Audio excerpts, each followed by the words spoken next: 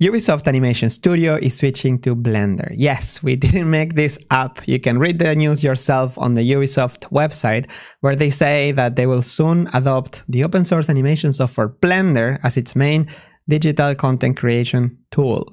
Not only that, but they're also going to join the Blender Development Fund, where they, so they're going to help financially move Blender so, uh, forward to make it more stable, more awesome. So not only that, but also they have this very nice article where they say how important it is to have the, to open the tools to be able to have the, the value of a big community behind.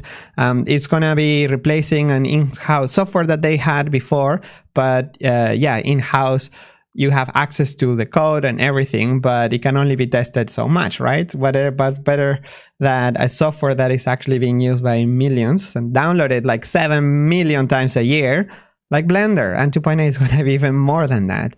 And you can read the article yourself. It's very nice. It's uh, it, it shows how the it highlights the strong and engaged community. Everybody, yes. So give yourself a pat in the back, and uh, it's paired up with the vision carried by the Blender Foundation, making it one of the most rapidly evolving DCCs on the market.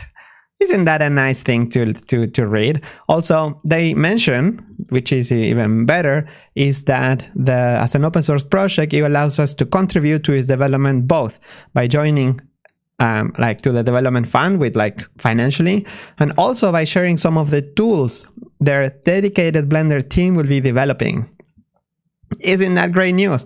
This is, I think, the future for Blender, where big companies can have, um, when when they have the resources, they can actually invest it in Blender developers to make the tools, to improve it, to and share it with the world, share it back with the world, because that's that's how things should go, right? Everybody wants the best tool for the task, and what better than having people with the giant, amazing, huge um, experience that these studios have.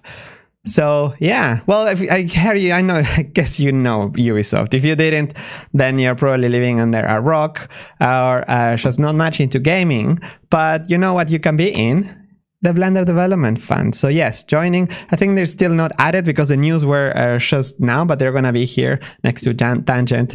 So amazing, amazing news! This 2.8 thing is getting out of control. They even mentioned how important uh, in 2.8 uh, with, with, the new things with like Eevee, Grease Pencil, and uh, the revamp UI. So it's it feels like they really follow the project, and it's so so nice and rewarding to see this happening. So yeah, just wanted to share the news. It's, uh, it's, it's just uh, just a happy moment. Let's see. We, I think it's history happening, right?